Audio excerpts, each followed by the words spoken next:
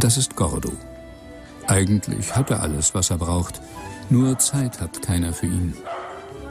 In einem günstigen Moment büxt er aus und landet nach einer abenteuerlichen Reise in der Fremde.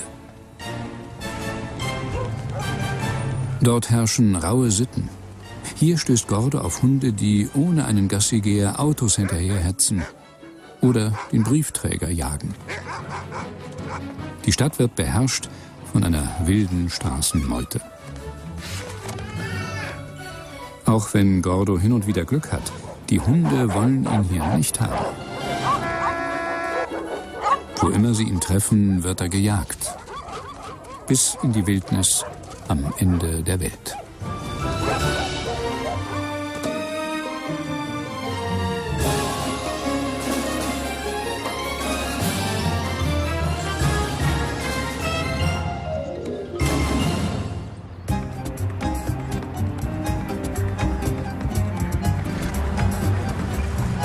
Gordos Geschichte beginnt in Buenos Aires. Mehr als zwölf Millionen Menschen leben im Großraum dieser Stadt, ein Schmelztiegel des Lebens. Einigen bietet diese Stadt ein bescheidenes Einkommen, anderen ein Leben im Überfluss. Viele Menschen haben nicht mal ein Dach über dem Kopf. Sie teilen sich die Straßen und Parks mit über drei Millionen Hunden. Und genauso wie die Obdachlosen kämpfen sie ums Überleben. Andere hingegen leben in Saus und Braus, so wie Gordo. Hier gibt's gerade mal wieder Futter, damit ich die Klappe halte. Wahrscheinlich Leberpastete. Na klar, Leberpastete. Immer der gleiche Paps. Sein Frauchen hat ihn liebevoll Gordo genannt, was so viel wie der Dicke heißt. Erstklassiges Futter und das sichere Dach über der Schnauze ist die eine Seite des Schlaraffenlandes. Fehlende Aufmerksamkeit die andere. Die Gesellschaft und Treue der Vierbeiner wird gerne entgegengenommen, doch ihre Bedürfnisse und Empfindlichkeiten werden von ihren Besitzern oftmals falsch verstanden oder ignoriert.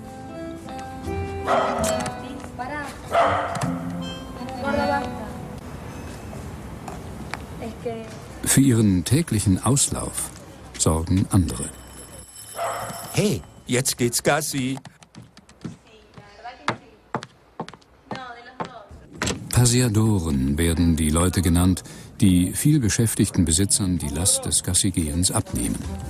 Sie verschaffen den Hunden, die oftmals in viel zu engen Stadtwohnungen leben, eine willkommene Abwechslung. Paseador zu sein ist ein lohnender Job und ein boomender Geschäftszweig in Buenos Aires. Für die kleineren Hunde ist es nicht einfach, mit den großen Kerlen Schritt zu halten. Aber als Belohnung winkt freier Auslauf im Hundepark. Hier können sie ihren Jagdinstinkt ausleben und Gordo macht auch gleich Gebrauch davon.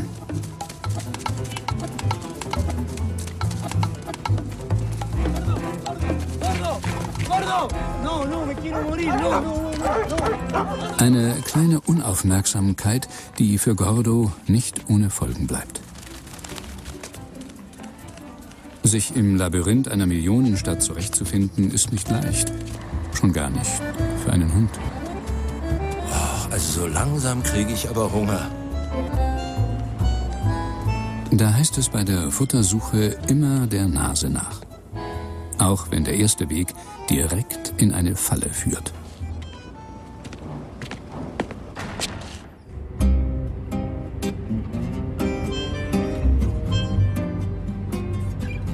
Der Trucker ahnt nichts von seinem blinden Passagier. Für ihn ist es ein einsamer Weg, der ihn über 3000 Kilometer durch Patagonien führt. Argentinien ist ein Land mit immensen Ausmaßen.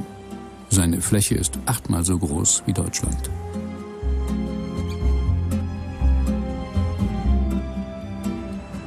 Gordos Geruchssinn hat ihn nicht getäuscht. Sein fahrendes Gefängnis erweist sich als das reinste Schlaraffenland. Aha, jetzt passiert was.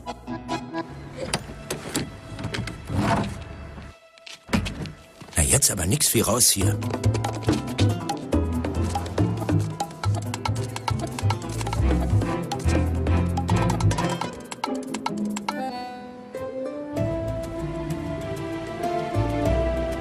Der Zielort der Reise heißt Ushuaia, die Hauptstadt von Feuerland, der südlichsten Provinz Argentiniens. Ushuaia ist zugleich auch die südlichst gelegene Stadt der Erde. Man nennt diese Gegend hier auch das Ende der Welt. Ushuaia ist eine kleine Stadt, in der es genau wie in Buenos Aires Reiche und Arme gibt. Und genauso prägen auch hier Straßenhunde das Stadtbild.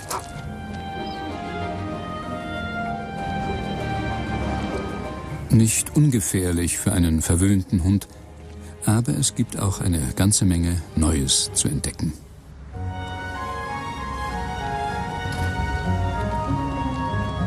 Gordo fühlt sich hier in seinem dicken Fell wesentlich wohler als im heißen Buenos Aires. Die Durchschnittstemperaturen liegen in Feuerland im Sommer bei ca. plus 12 Grad Celsius.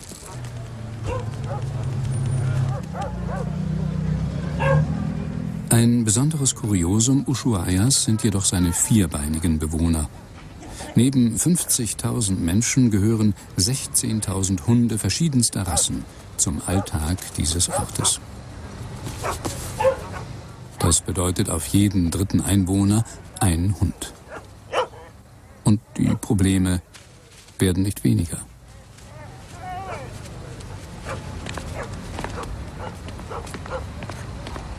Die Gründe dafür sind vielfältiger Natur. Der Hauptgrund aber immer der gleiche. Junge Hunde sind niedlich, solange sie so klein sind. Doch wenn sie größer werden, sind sie ihren Besitzern oftmals nur noch lästig. Dann entledigt man sich der Verantwortung und überlässt den Hund einfach sich selbst.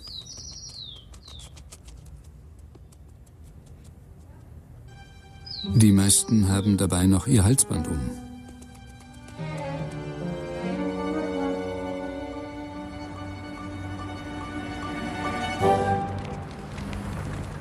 Für Gordo heißt es nun, sich in der fremden Stadt zurechtzufinden. Besonders die vielen Artgenossen, die ohne Leine um den Hals auf der Straße leben, interessieren ihn.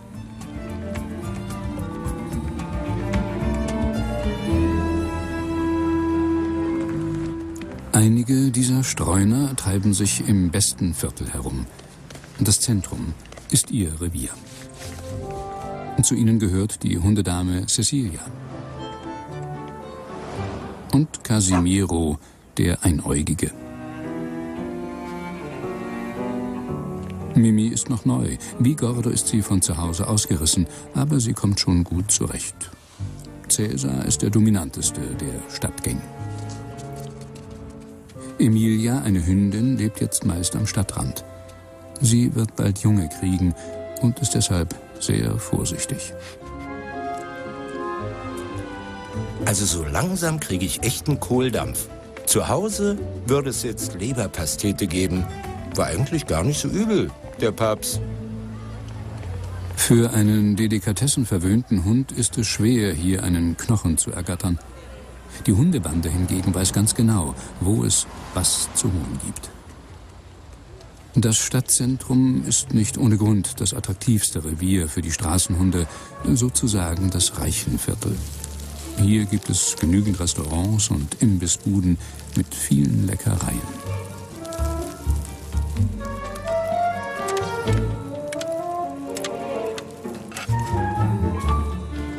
Da tropft einem ja der Zahn.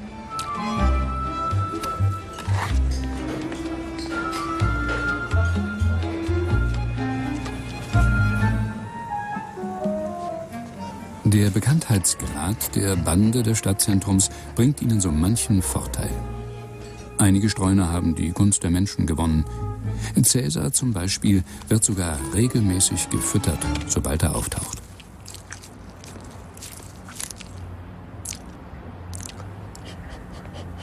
Straßenhunde leben nicht im Rudel, sie sind alle Einzelgänger. Hier muss sich jeder selbst durchschlagen. Und der frechste und stärkste bekommt am meisten. Doch so weit ist Gordo noch nicht. Aber er hat Glück. Die üppigen Reste werden sein erstes Mal. Andere sind hier nicht so großzügig. Futterneid ist oft der Anlass für wilde Beißereien. Für einen Neuling kein leichtes Leben auf der Straße.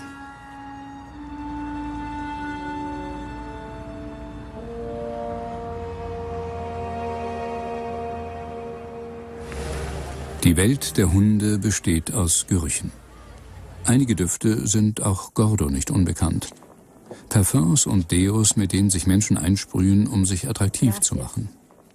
Sie sind für Hundenasen eher unangenehm. Das hier riecht schon interessanter. Für Hunde ist das wie Zeitung lesen. Überall und bei jeder Gelegenheit hinterlassen sie ihre Nachrichten. So erfährt jeder, wie alt der Artgenosse ist, der zuletzt hier war. Ob Hundedame oder Macho, ob er gut oder schlecht gelaunt ist und sogar unter welchen Krankheiten er leidet. Ah, duftet sympathisch. Ist wohl eine Hundedame. Oh, oh, ich tippe so ungefähr drei Jahre alt. Irgendwie erkältet die Gute. Außerdem markieren Hunde dadurch ihr Revier eine Botschaft für Neuankömmlinge und für Rivalen. Gordos Ankunft hat sich in der Stadt schon rumgesprochen. Sein Duft eilt ihm sozusagen voraus. Cecilia wird als erste neugierig. Das war wohl nicht gerade Liebe auf den ersten Blick. Gordo ist zwar vorsichtig, aber trotzdem auch selbstbewusst. Er probiert gerne aus, wer der Stärkste ist. Seine Methode, Einfach auf den anderen hinten aufstellen und gucken, was passiert. Und wenn der sich nicht wehrt, wird er auch noch in den Schwitzkasten genommen. Doch nicht jeder Vierbeiner ist hier so friedlich. Für die anderen ist Gordo ein Konkurrent. Casimiro lässt sich das bestimmt nicht gefallen.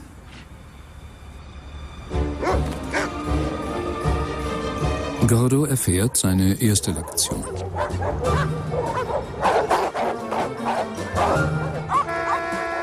Die Hundebande im Stadtzentrum duldet keinen neuen. Was ist denn jetzt los? Mag mich hier niemand? Ich hab doch gar nichts gemacht.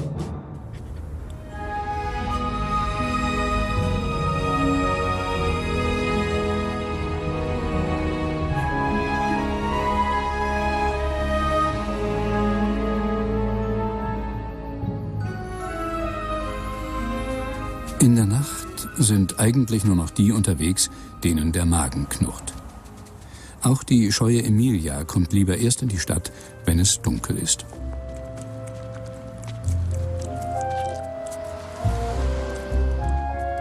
Während Emilia bloß ein paar Reste findet, schlagen sich andere im Restaurant den Bauch voll.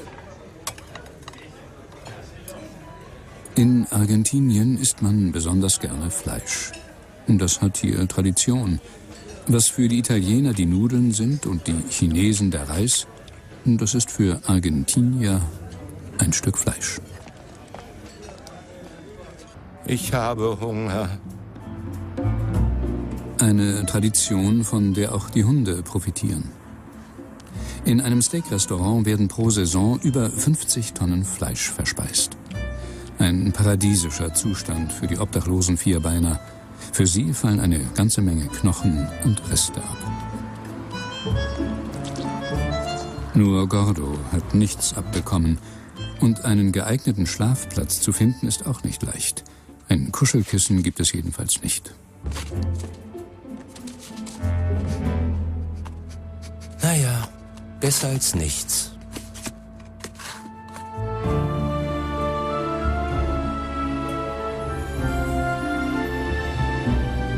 Während die Stadt in den Schlaf sinkt und die meisten Lichter erlöschen, erblickt im Schutz der Dunkelheit neues Leben, das Licht der Welt.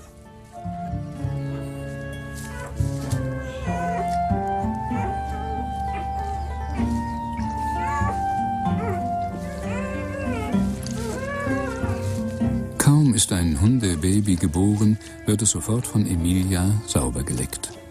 Und dann machen sich die Kleinen auch instinktiv daran, die Zitzen zu finden, um Milch zu trinken.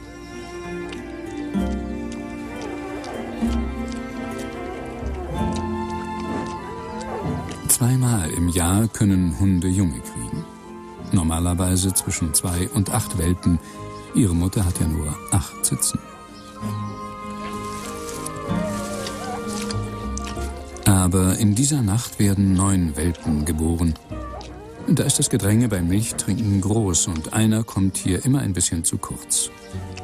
Emilia stehen schwere Zeiten bevor.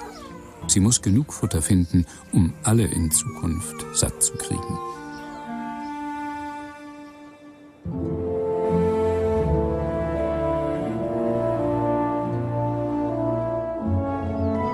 Inzwischen sind ein paar Tage vergangen.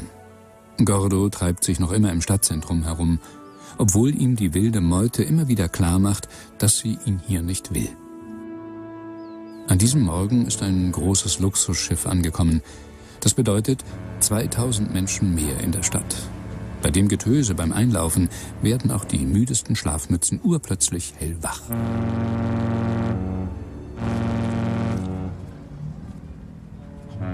Die Passagiere vom Schiff sind fremd und ahnen nicht, dass es hier so viele Hunde gibt. Die Vierbeiner wissen die Gunst der Ahnungslosen auszunutzen. Das Begrüßungskomitee macht sich sofort auf den Weg.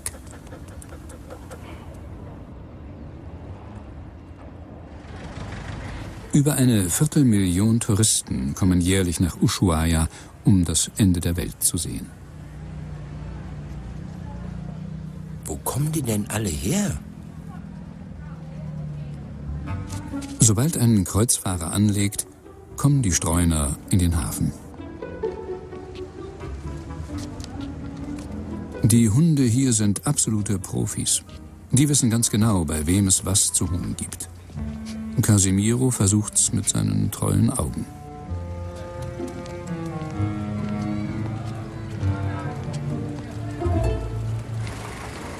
Cecilia guckt sich einen aus und bleibt dann dran und wartet auf den günstigsten Moment. Und Cäsar kriegt wieder mal den besten Happen.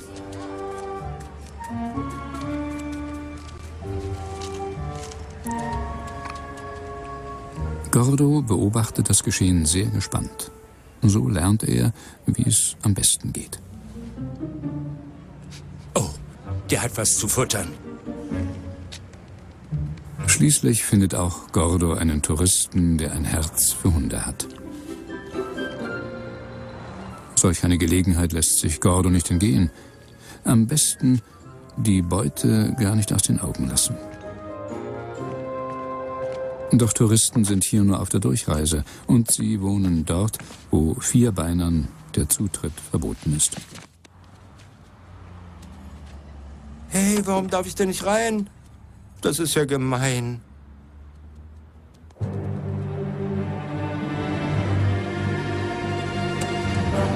Die vielen Hunde sind der Stadtverwaltung ein Dorn im Auge. Darum hat man beschlossen, Maßnahmen zu ergreifen. Ein Hundefänger soll dem wachsenden Problem der Straßenhunde Einhalt gebieten. Und er muss nicht lange suchen.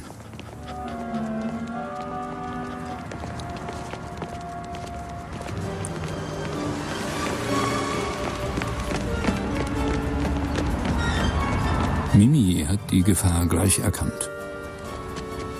Nur Gordo hat noch gar nicht gemerkt, was das für eine gefährliche Situation ist. Was willst du denn? Willst du spielen? Fang mich doch.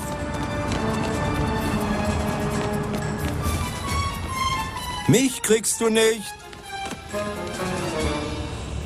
Kaum ist Gordo der einen Gefahr entronnen, kommt auch schon die nächste.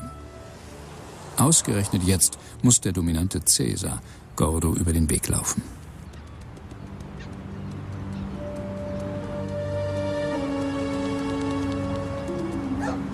Die anderen wissen schon, was gleich passieren wird.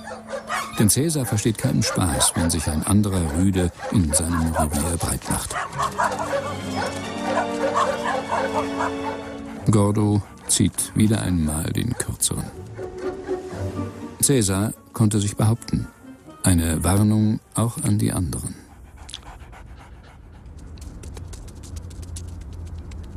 So ein Straßenhund legt am Tag ca. 40 Kilometer zurück. Für den Hundefänger kein leichter Job. Mit Hektik erreicht er hier gar nichts. Ausgerechnet jetzt ist Emilia im Stadtzentrum. Ihre Jungen hat sie im Versteck gelassen. Um alle satt zu kriegen, riskiert sie auch am Tag die Futtersuche. Wenn ihr jetzt was passiert, gar nicht auszudenken, was das für ihren Nachwuchs bedeuten würde. Doch der Hundefänger hat einen anderen im Visier. Er nimmt, was er kriegen kann.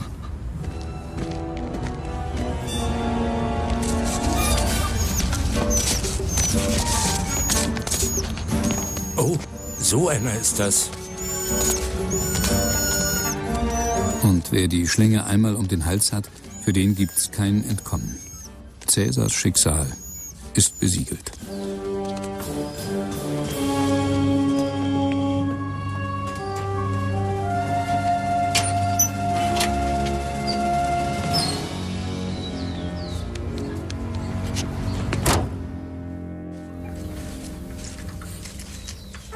Emilias Junge liegen warm und trocken.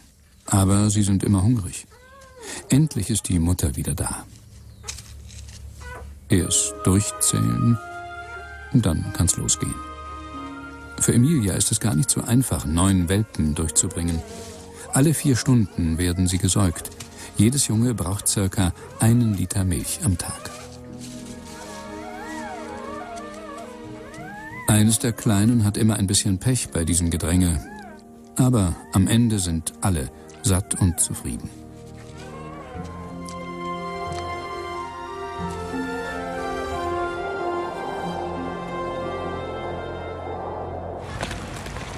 Gordo schlägt sich noch immer im Stadtzentrum durch, obwohl ihm die anderen immer wieder klar machen, dass er hier besser abhauen soll.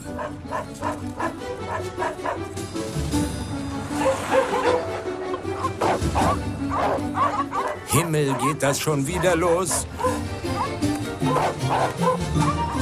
Schließlich muss sich Gordo der Übermacht beugen und das lukrative Revier verlassen.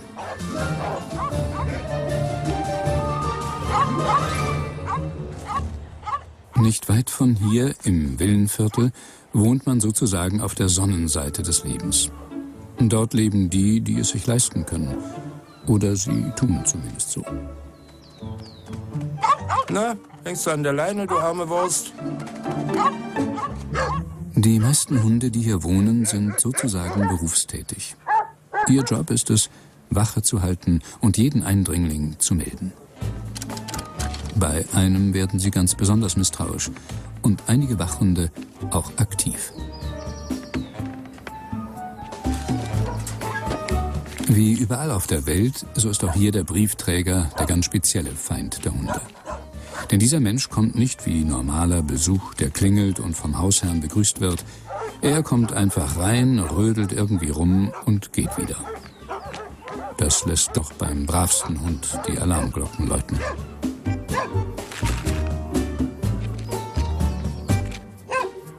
Solange die Meute hinterm Zaun oder angebunden ist, zeigt der Briefträger großen Mut.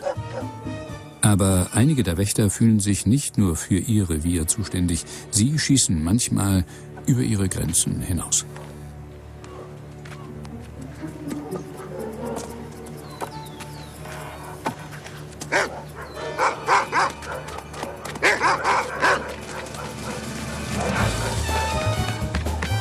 Ja, gib's ihm!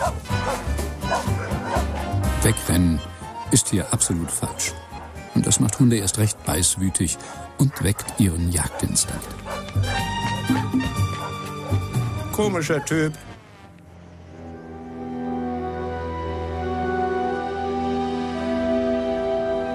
Der Jagdinstinkt ist Hunden angeboren.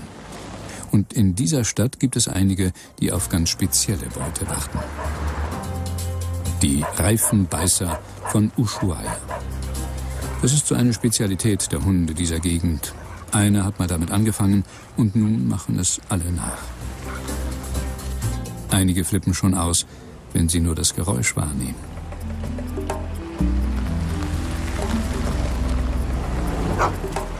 Die drehenden Räder und der Geruch an den Reifen sind vermutlich der Grund dafür.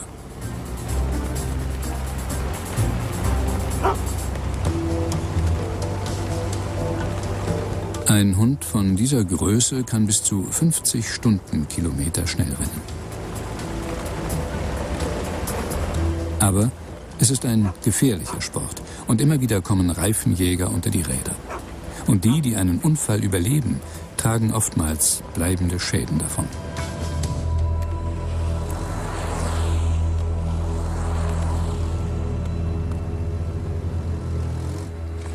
Ganz in der Nähe am Supermarkt erbetteln alte und kranke Hunde ihr Gnadenbrot. Das hat auch Gordo inzwischen herausgefunden.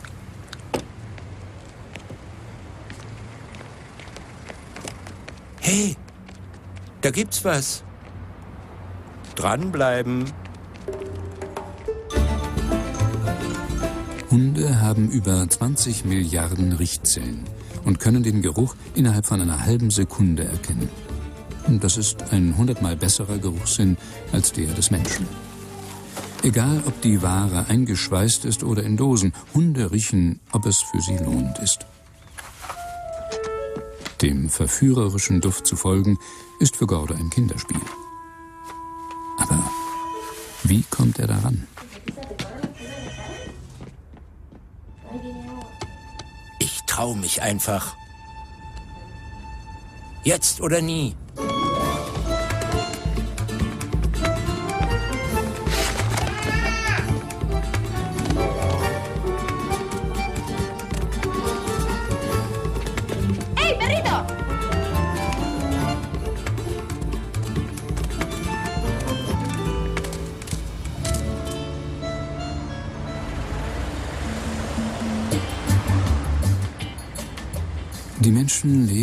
Oftmals im Überfluss und werfen einfach achtlos weg, was so manch verwahrloster Kollege, naja, noch gut gebrauchen könnte.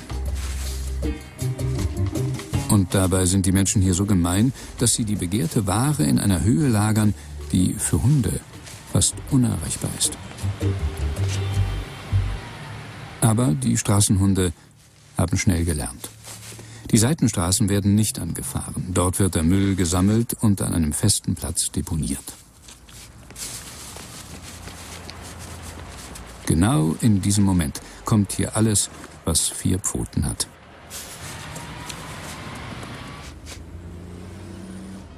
Gordo hat seine erste Beute in Sicherheit gebracht.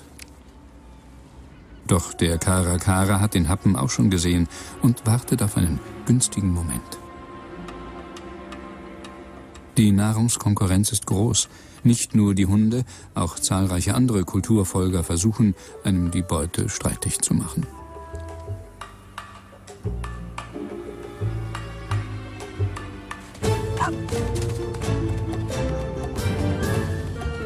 Und dass Hunde keine Katzen mögen, hat auch seinen Grund. Wie bei allen, hier geht's nur ums Fressen.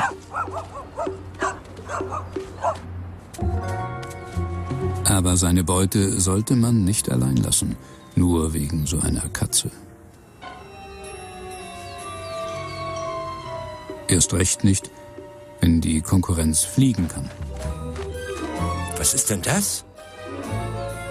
Das gibt's doch nicht. Hey, du Dieb!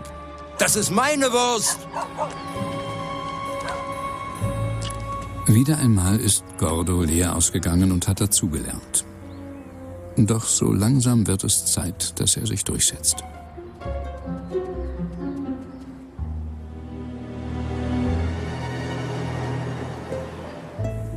Am Stadtrand hat Emilia immer noch ihr Versteck.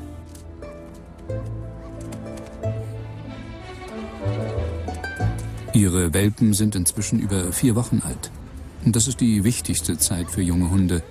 Jetzt lernen sie, wer zu ihrer Familie gehört und wie sie sich verhalten müssen.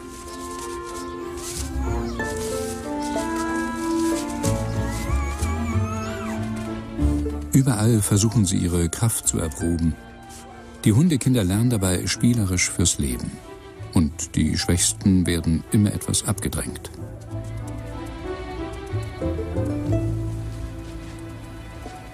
Hier am Rande der Stadt leben die, für die am wenigsten bleibt. Da wohnen im wahrsten Sinne des Wortes arme Hunde. Eine Gegend, wo man leicht die Orientierung verlieren kann.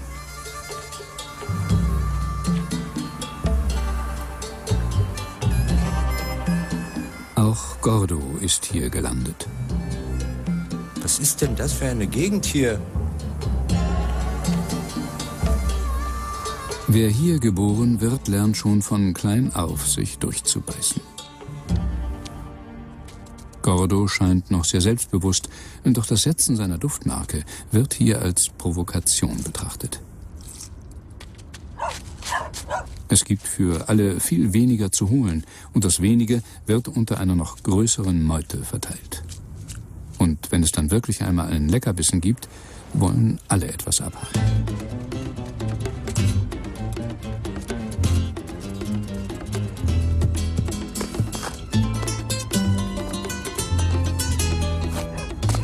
Dann ist hier der Teufel los und es geht regelrecht um die Wurst.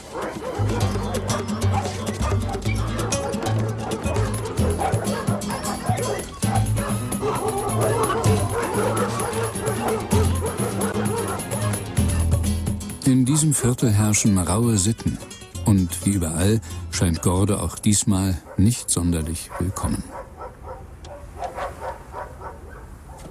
Hey, was ist das denn für eine hübsche? Was ist denn mit der los? Zicke. Die Hundedamen lassen sich hier nicht alles gefallen. Und auch die Machos sind sehr aggressiv. Das Zähne zeigen und lecken heißt so viel wie Komm nicht näher, sonst beiß ich dich. Ist mir zwar lieber, wenn es nicht so weit kommt, aber hau lieber ab.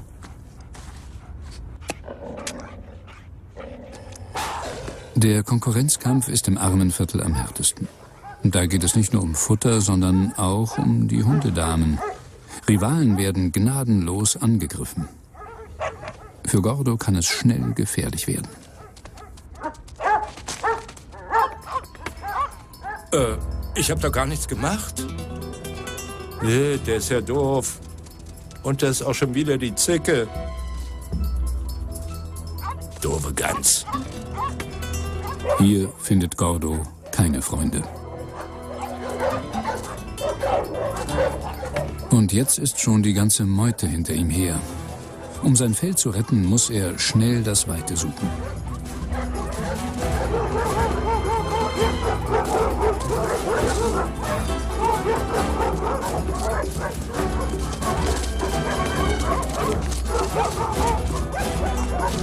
Wer sich in der Stadt nicht durchsetzen kann, dem bleibt nur die Flucht in die Wildnis. Sozusagen zurück zu den Wurzeln. Hier muss er nun beweisen, wie viel Wolf noch in ihm steckt.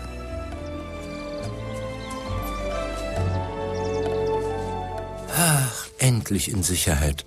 Habe ich noch mal Schwein gehabt. Am grünen Rand der Stadt sind viele Tiere auf Nahrungssuche. Da gäbe es auch für Gordo etwas zu holen, aber als Haushund mit schlechter Ausbildung hat er ja keine Ahnung, wie man sowas macht. Auch der Karakara hält hier Ausschau nach einer Mahlzeit und hat schon eine interessante Beute im Visier.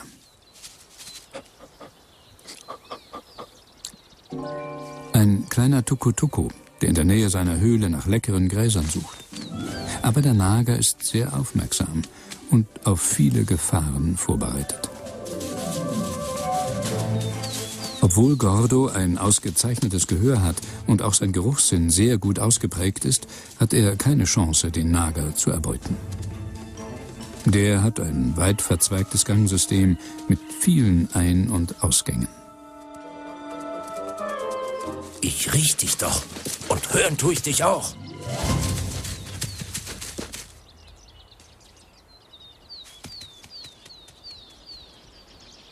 Die brütenden Vögel haben auch schon lange mitgekriegt, dass hier ein Störenfried rumrennt. Sie entfernen sich schon vorher still und leise vom Nest und schlagen dann Alarm, um ihren Feind wegzulocken.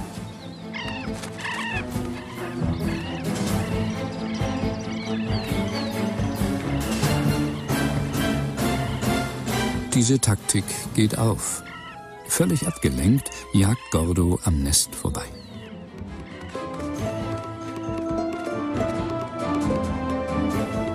Auch in der Wildnis sind die Aufgaben zum Überleben schwer lösbar für einen Haushund, dem viele Urinstinkte verloren gegangen sind. Aber Gordo gibt nicht auf.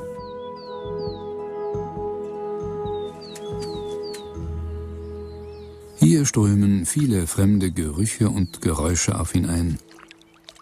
Doch da ist wieder der knurrende Magen. Was ist denn das für ein Vieh? Dass Hunde Fische fangen, ist eher selten. Aber Gordo lässt nichts unversucht. Hier gibt es eine Menge Forellen, die immense Ausmaße erreichen können. Aber Gordo bleibt wieder glücklos. Äh, wieder nichts.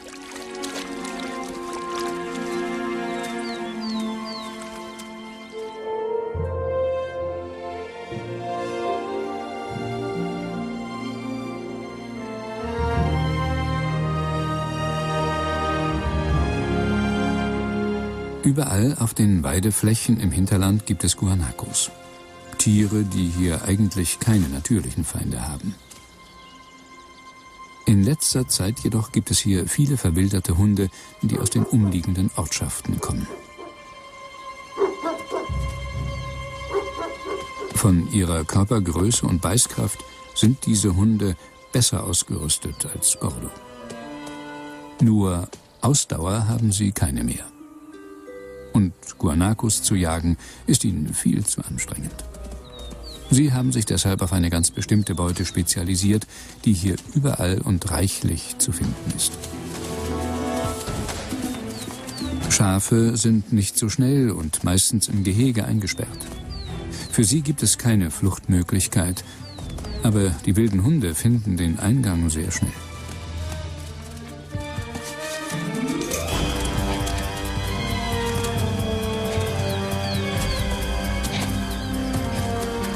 Dieser Situation zu entkommen, ist für das Schaf fast aussichtslos. Einzige Möglichkeit, sich einfach hinlegen und totstellen. Eine Taktik, die jedoch nicht immer von Erfolg gekrönt ist.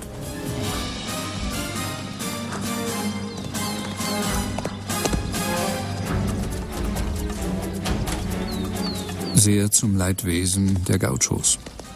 Bei ihren Kontrollen finden sie immer wieder tote Schafe, die den verwilderten Hunden zum Opfer gefallen sind. Zum Glück ist gerade ein Gaucho in der Nähe.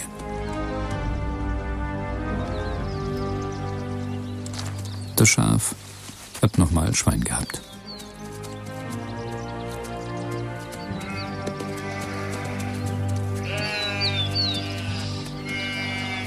Gordo hat zwar noch seinen Jagdinstinkt, aber sein Gebiss reicht nicht aus, vernünftige Beute zu machen. Maximal ein kleiner Nager könnte ihm zum Opfer fallen, aber dafür fehlt es ihm an Jagdtaktik. Nur hinterherrennen reicht nicht aus. Bei vielen tausend Schafen auf einer Farm sterben Tiere auch aus Altersgründen oder an einer Krankheit.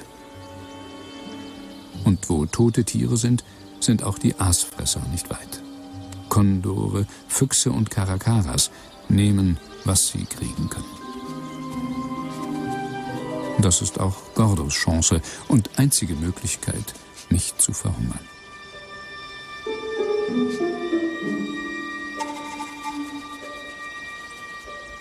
Endlich was zu futtern.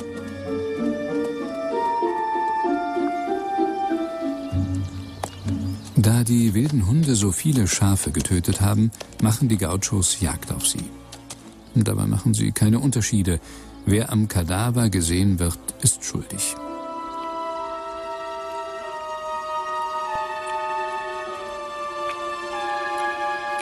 Während Gordo sich endlich satt frisst, kommt das Unheil immer näher. Er ahnt nicht, in welcher Gefahr er schwebt. Riecht nach Mensch. Ach so, bloß ein Gaucho. Kenne ich ja. Der tut mir nichts. Gordo hat mit Menschen noch nie schlechte Erfahrungen gemacht. Und weil er Menschen vertraut, sucht er auch nicht das Weite.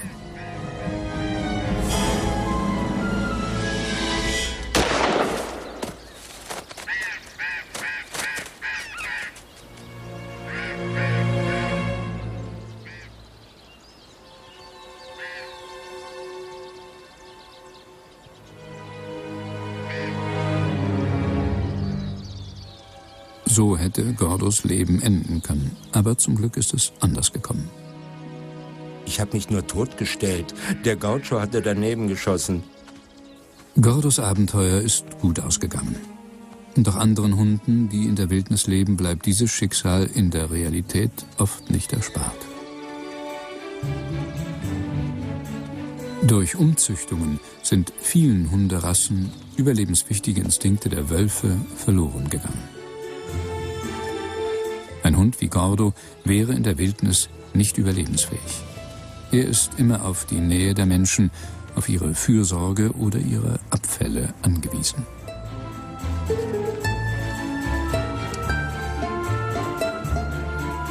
In Wahrheit war Gordo einer von Ushuaias Straßenhunden und wurde extra für diesen Film ausgesucht. Gordo lebt heute und bis ans Ende seiner Tage bei seinem Tiertrainer Pablo. Und in Ushuaia ist Gordo mittlerweile so bekannt wie ein bunter Hund.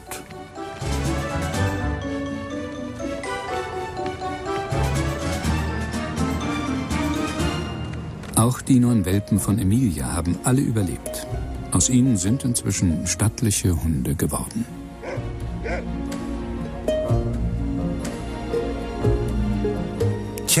Das war's, Leute. Mein Leben mit Menschen und ohne Menschen. Aber wenn ihr mich fragt, Hunde und Menschen, die gehören einfach zusammen. Doch was Gordo wirklich denkt, weiß nur er selbst und verrät es maximal seinen Achtgenossen. Wir verraten schon mal, dass wir Montag die Spur eines Duftjägers aufnehmen. Und gleich nach dem Arte-Journal erkunden wir die wenig wohlriechende Seite New Yorks. Manhattans Müll und die Mafia.